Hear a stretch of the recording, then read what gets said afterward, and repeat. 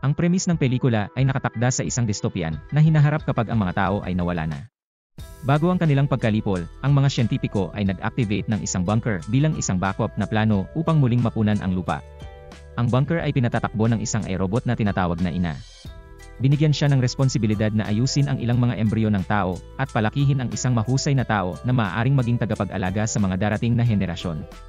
Sa simula ng pelikula, Dumaan si inay sa 63,000 embryo ng tao at pumili ng isang malusog na palakihin.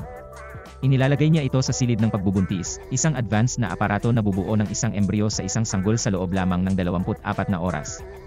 Habang hinihintay niyang lumaki ang sanggol sa artipisyal na sinapupunan, maririnig ang mga putok ng baril sa labas ng pasilidad. Bumalik siya kinabukasan at inilabas ang bagong silang na sanggol na babae sa sinapupunan. Ang eksena ay sinundan ng montage ng pagpapalaki ni inay sa anak, Pinapanood niya si daughter na naglalakad sa unang pagkakataon, inaalagaan siya kapag umiiyak at mahal na mahal siya. Sa kanilang libreng oras, magkasamang gumagawa ng origami sina anak at ina. Tinuturuan pa siya ni inay na sumayaw, magluto, at makipag-away. Kapag lumaki na si anak sa isang naaangkop na edad, ipinakilala siya ni inay sa iba pang mga embryo at sinabi sa kanya ang tungkol sa kanyang layunin sa mundo. Makalipas ang ilang taon, si daughter ay naging teenager. Madalas siyang nanonood ng mga video ng mga tao sa kanyang tablet. Bagamat isa siya sa kanila, nabighani siya sa kanilang kalikasan. Isang araw, kapag nagkaroon ng teknikal na problema sa kamay ni inay, madali niya itong inaayos. Dahil dito, napagtanto ni inay na maganda ang kanyang ginawang pagpapalaki sa anak. Araw-araw sa loob ng isang oras, tinuturuan ni inay ang anak na babae tungkol sa moral at etika. Ibinibigay niya ang kanyang hypothetical na mga tanong upang subukan ang kanyang moralidad. Ang kanyang pangunahing layunin ay gawing pamilyar ang anak na babae sa konsepto ng sangkatauhan. Sa lalong madaling panahon, kailangan niyang dumalo sa isang huling pagsusulit na magpapakita ng kahusayan ng pagpapalaki ni inay. Isang gabi, nahihirapan si daughter na makatulog kaya nanonood siya ng mga video ng mga tao sa kanyang tablet. Biglang naputol ang kuryente. Lumabas siya upang hanapin si inay at nalaman niyang wala na rin siya sa kapangyarihan. Nakita niyang sirang cable ang dahilan ng pagkawala ng kuryente. Habang nag-iisip siya kung ano ang maaaring sanhi nito, narinig niya ang isang daga na tumitili. Ang anak na babae ay hindi pa nakakita ng buhay na hayop. Tuwang-tuwa siyang nagtakda ng bitag ng daga at inaayos ang cable.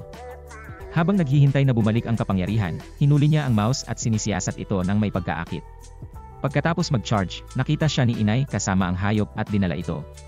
Ang presensya ng mouse ay nangangahulugan ng pagkasira sa airlock system ng bunker na nag-aalala sa kanya. Sinabi niya na ang hangin sa labas ng bunker ay lubhang nakakalason na maaaring pumatay ng mga tao kaagad. Kasunod nito, gumawa siya ng mga hakbang upang matiyak na ang hangin sa loob ay hindi kontaminado. Dahil ang mouse ay isa ring potensyal na carrier ng kontaminasyon, sinusunog niya ito, laban sa mga protesta ng daughter. Makalipas ang ilang araw, ipinagdiriwang nila ang kaarawan ni daughter. Sa hapunan, isang usyosong anak na babae ang nagtanong kay inay kung ang mga tao ay mabubuhay sa labas ng bunker. Ang pagkakaroon ng daga ay nagtanong sa mga turo ng ina. Simpleng sagot ni inay na alam niyang walang tao sa labas, at dahil hindi siya kailanman nagkamali, idineklara niya itong katotohanan. Kinalaunan sa araw na yon, nakarinig si daughter ng ingay na nagmumula sa airlock ng pasilidad. Lumapit siya para tingnan ngunit wala siyang makita mula sa unang pinto.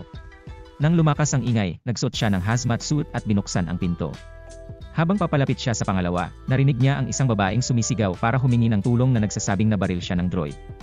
Mabilis na kumuha si anak ng hazmat suit para tulungan siya ng babae. Isinara niya ang unang hatch upang mapanatili ang isang ligtas na distansya, pagkatapos ay binuksan ang pasukan, pinapasok siya. Kapag bumukas ang pinto, inalerto si inay. Nakikiusap ang babae sa kanya na huwag sabihin sa ina ang kanyang pagdating. Nag-aalinlangan ang anak na babae dahil wala siyang itinatago sa kanya. Dumating si inay ngunit hindi niya nakita ang nasugatan na babae habang siya ay nakatago sa airlock. Nang tanungin kung ano ang nangyari, sinabi ni daughter na hindi niya sinasadyang nabuksan ang pasukan. Bilang parusa sa kanyang pagkakamali, hinihiling sa kanya na kunin ang huling pagsusulit sa sandaling yon. Dinala siya ni inay sa isang silid-aralan at binigay sa kanya ang tablet na may mga tanong.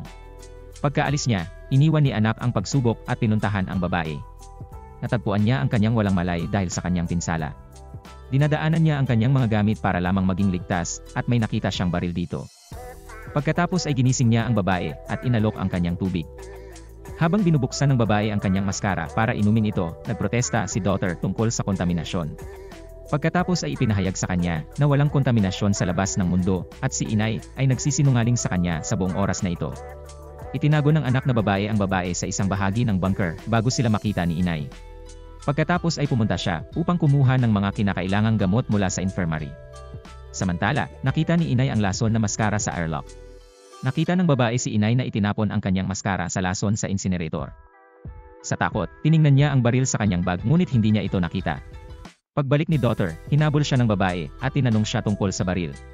Tinutukoy niya si inay bilang isang droid at gusto niyang protektahan ng baril ang sarili mula sa kanya. Nagulat si inay nang makarating siya sa silid-aralan at nakitang nawawala si anak. Nakita niya ang babaeng hawak si daughter at kumaripas ng takbo patungo sa kanila. Nagagawa ng babae na barilin siya ng isang beses, ngunit walang pinsala ang bala. Hinawakan niya ang babae at madaling dinaig. Pinipigilan siya ng anak na babae na sinasabing ang tanging dahilan kung bakit nandito ang babae ay dahil kailangan niya ang kanilang tulong. Naiintindihan ni inay ang problema at dinala ang nasugatan na babae sa infirmary.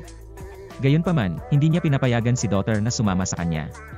Kasunod nito, tinanong ni inay ang babae habang binibihisan ang kanyang mga sugat ngunit wala siyang nakuhang sagot.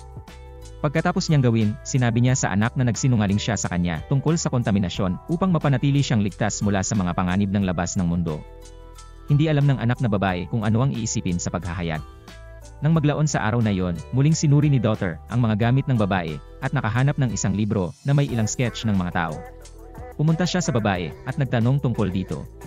Ngunit walang sinabi ang babae na naghihinala na ipinadala siya ni inay upang tanungin siya. Nang ipagtanggol ni anak ang kanyang ina, sinabi ng babae sa kanya na ang mga droid ay nakagawa ng mga kakilakilabot na bagay sa mga tao. Nang maglaon, humingi ng paumanhin ang anak na babae kay ina dahil pinapasok niya ang babae. Maibiging ipinaunawa sa kanya ni inay ang mga kahihinatnan at pinatawad siya. Lumalala ang kalusugan ng babae, ngunit hindi siya nagtitiwala kay inang na operahan siya. Kaya naman, si Iha ang nagkusa at matagumpay na nailabas ang bala. Nang magising ang babae mula sa operasyon, binibigyan siya ni anak ng pagkain na kanyang nilalamon. Nag-uusap ang dalawa habang pinagmamasdan sila ni inay mula sa malayo. Kinabukasan, sinabi sa kanya ng babae na ang mga sketch sa libro ay mga miyembro ng kanyang pamilya. Hiniling niya sa anak na ilihim ang lahat ng sasabihin niya kay inay. Pagkatapos ay sinabi niya sa kanya ang tungkol sa kampo ng mga nakaligtas sa mga minahan kung saan siya pinalaki. Iginiit ng anak na babae na ang pasilidad ay may sapat na mapagkukunan upang matulungan ang mga tao mula sa kampo, kaya dapat nilang dalhin sila dito. Gayunpaman, gusto ng babae na sumama sa kanila si daughter sa kampo. Nang maglaon, ipinaalam ni inay kay anak na ang bala na nakita niya mula sa loob ng babae ay kapareho ng bala mula sa kanyang baril. Kaya, pinaghihinalaan niyang binaril siya ng sarili niyang kauri. Ang anak na babae pagkatapos ay sa wakas ay kumuha ng pagsusulit at pumasa ng may maliwanag na kulay. Bilang regalo, hinahayaan siya ni inay na pumili ng anumang embryo na susunod na palakihin. Matyagang naghihintay ang dalawa sa pagsilang ng sanggol. Nang maglaon, hiniling ng babae kay anak na suriin ang mga bala at kumpirmahin kung sino ang bumaril sa kanya, mga tao o ang mga droid. Ginawa niya ang sinabi at nalaman niya na ang mga bala ay ganap na naiiba, ibig sabihin ay nagsisinungaling na naman si inay sa kanya. Habang nandoon siya, nakahanap din siya ng mga dokumentong may label pangalawang embryo. Binasa niya ang mga file at napagtanto na hindi siya ang unang sanggol na ginawa sa pasilidad. Ang ilan sa iba pang mga paksa ay may label na bigo. Pagkatapos ay sinusuri niya ang incinerator upang mahanap ang mga labi ng isang panganang tao. Natuklasan din niya ang isang dokumento na nagsasabing ang paksa ay naabort. Laking gulat na pinatay ng kanyang ina ang iba pang mga sanggol, hindi na siya nagtitiwala sa kanya. Tumakbo siya sa babae at sinabi sa kanya ang tungkol sa kanyang mga natuklasan. Ang anak na babae pagkatapos ay nagpasya na tumakbo sa kampo kasama ang babae. Gayunpaman, gusto niyang ipanganak muna ang kanyang kapatid para makuha rin niya ito. Kinabukasan, nangungulekta si anak ng mga suplay para sa kanilang pagtakas, ngunit nahuli siya ni inay sa akto.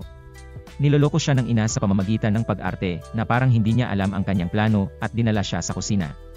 Sa kalaunan ay ikinulong niya siya doon at pinuntahan ang babae upang tanungin siya tungkol sa kanyang tunay na motibo. Samantala, nagawang basagin ni daughter ang glass door sa pamamagitan ng pag-spray nito ng kemikal. Nag-away ang babae at si inay, ngunit nagambala si inay nang iset ni daughter ang alarma sa sunog. Hinanap ng babae si daughter at kinumbinsi itong tumakas nang wala ang kanyang kapatid. Nang tangkaing pigilan sila ni inay, hinawakan ng babae ang anak na hostage at binantaan si inay na pagbuksan sila ng pinto. Obligado si nanay dahil ayaw niyang masaktan ang anak. Sa wakas ay nakatakas ang dalawa at tumakbo palabas.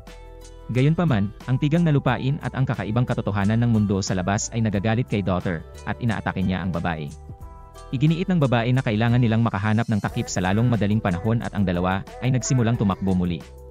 Sinusundan sila ng mga droid na pagpatay ng tao at makitid na tumakas para makarating sa kanilang destinasyon. Ipinaalam ng babae kay anak na ang mga droid ay umani ng mais anim na buwan na ang nakararaan. Bago yon, halos hindi makahinga ang mga tao. Nakarating sila sa isang dalampasigan na may malalaking lalagyan ng kargamento. Sa una, ang anak na babae ay nabighani sa kagandahan ng dagat ngunit pagkatapos ay napagtanto niya na ang kampo na sinasabi ng babae ay ang mga lalagyan ng kargamento.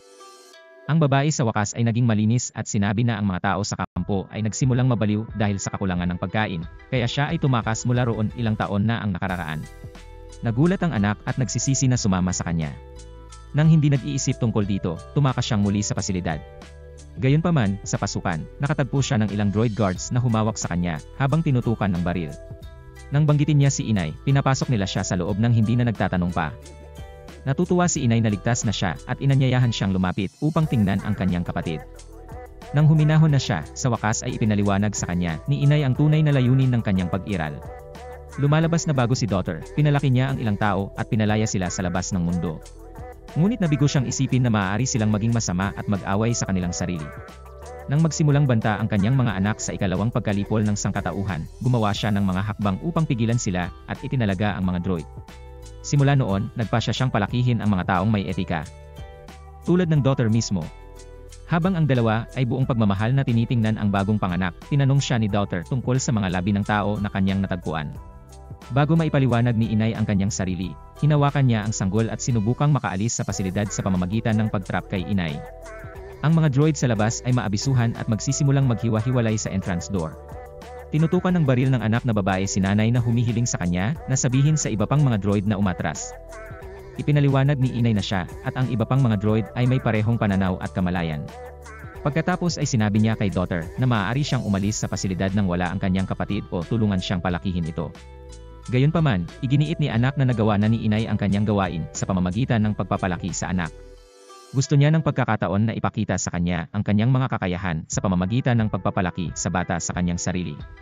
Biglang huminto ang mga droid sa paghiwa sa pasukan. Hiniling ni nanay sa anak na huwag paganahin siya dahil natupad niya ang kanyang layunin. Binaril ng anak na babae ang kanyang CPU, sa wakas ay pinatay siya. Inaako niya ang responsibilidad na iligtas ang sangkatauhan mula sa pagkalipol. Nakita namin ang babaeng nakatagpo ng isang droid na kamukha ni nanay. Sinasabi nito sa babae na natupad niya ang kanyang layunin, na nagmumungkahi na isa rin siya sa mga anak ng ina na marahil ay hinirang upang tulungan siyang subukan ang potensyal ng anak na babae. Sa huli, makikita si daughter na kumakanta sa kanyang baby brother at sinusuri ang iba pang mga embryo.